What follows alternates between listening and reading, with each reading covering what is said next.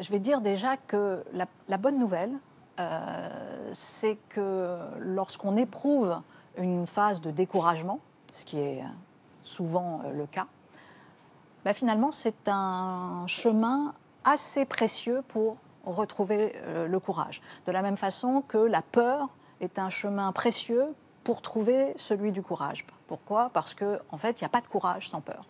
Voilà.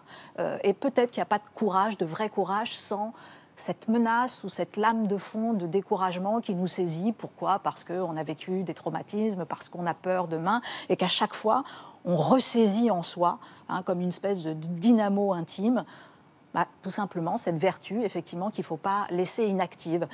Si je vous suis bien, est-ce que ça veut dire que la peur que fustige André Comte-Sponville est peut-être nécessaire pour trouver, en la dépassant, le courage euh, de penser peut-être aussi avec vous contre la, euh, la pensée dominante? La peur, il n'y a absolument pas à la fustiger. La peur, elle est là, elle a un rôle absolument déterminant dans la défense de l'organisme.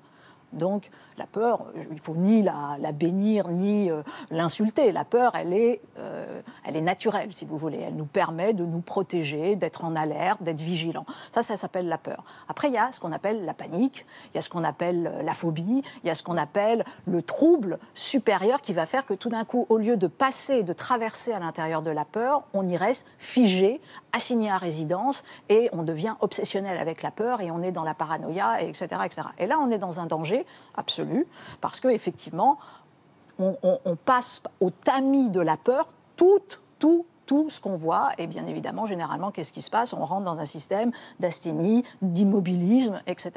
Donc, la peur, c'est pas grave, la peur. Euh, à un moment donné, en revanche, le courage, ça nous permet de, ben, justement, de prendre la décision de dépasser cette peur. Voilà. Et de comprendre que notre relation à la vie, elle passe par une tolérance au risque, elle passe par une tolérance à l'incertitude. Et c'est ça qui est très compliqué dans nos sociétés, puisque nos sociétés refusent le risque, refusent l'incertitude, considèrent que l'incertitude, c'est déficitaire, que c'est le contraire de la raison, que c'est le contraire de la performance. De fait, puisque c'est beaucoup plus simple d'être performant quand on sait exactement ce qu'on va faire. Et voilà. Et c'est ça l'intérêt d'ailleurs de cette crise. S'il y a un intérêt. Remettre un peu d'incertitude. Ah oui, s'il y a un intérêt de cette crise, c'est l'émergence. C'est de se dire tout d'un coup que, bon, bah, d'abord, il y a un côté un peu désagréable dans l'émergence, c'est qu'on est un peu sidéré, etc. Mais enfin, il va peut-être y avoir de l'événement, il va peut-être y avoir précisément une sublimation possible, enfin, une respiration. Oui, oui, ça. oui, quand même. Enfin, quelque chose va advenir dans ma vie. Je ne sais pas, mais enfin, y a, euh, on se plaint, euh, les, les, générations se plaignent de ne pas pouvoir faire histoire, de ne pas pouvoir faire commencement, etc. Bon, so be it, c'est maintenant. C'est maintenant qu'il y a quelque chose à faire. Pourrait, quelle forme cela pourrait-il prendre? Oh ben Écoutez, là, quand même, il y a eu un. Je trouve que le, la mondialisation dérégulée a pris quand même un petit revers dans la tête. Euh, parce que la vérité aujourd'hui, et on le sait, mais on ne l'avait jamais vécu de façon aussi forte. La vérité, c'est que la norme la plus basse fait la loi. Bon. Et la norme la plus basse au niveau social et environnemental, peut-être pas la plus basse, mais pas très haute, c'est Wuhan. Et donc, de fait, tout ce qui va se passer à cet endroit-là va faire en sorte par une raison du système que, bah oui, nous allons être interconnectés et donc dépendants les uns et les autres de vulnérabilités énormes. Et donc, voilà. Donc ça, c'est, on a beau être un État français magnifique, tout ce que vous voulez, etc.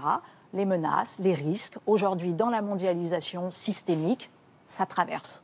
Donc, si vous voulez, ça veut dire quoi? Ça veut dire que soit on continue comme ça, alors soit on se replie, mmh. et on redevient des fiefs, et ça, ça serait d'une tristesse absolue, parce qu'on ne va pas abandonner la mondialisation qui est, en, qui est en même temps une conquête géniale aussi. Je pose quand même la question de savoir si on peut l'abandonner aussi. Oui, mais en l'occurrence, bon.